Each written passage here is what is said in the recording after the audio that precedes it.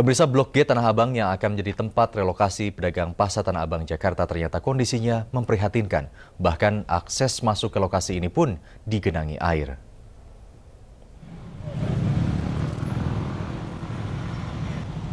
Bagi warga Jakarta, macet di Pasar Tanah Abang sudah tidak membuat heran.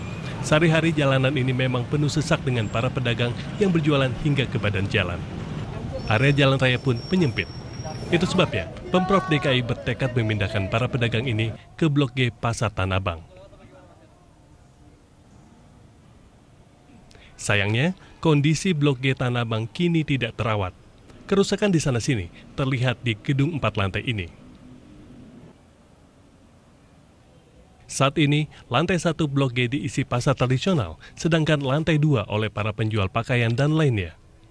Kosasi pedagang daging yang berjualan di Blok G mengaku membayar sewa Rp300.000 per bulan untuk setiap satu setengah meter persegi. Aset buat kendaraan juga nggak ada. Terus saya perubahan letak tata meja buat pedagang juga salah, tapinnya. Jadi pengunjungnya hampir selalu sepi ya Pak?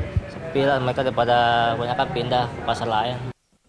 Blok G memang tidak jauh dari lokasi para pedagang saat ini, tapi banjir di depan pintu masuk juga menyulitkan para pembeli mencapai lokasi ini.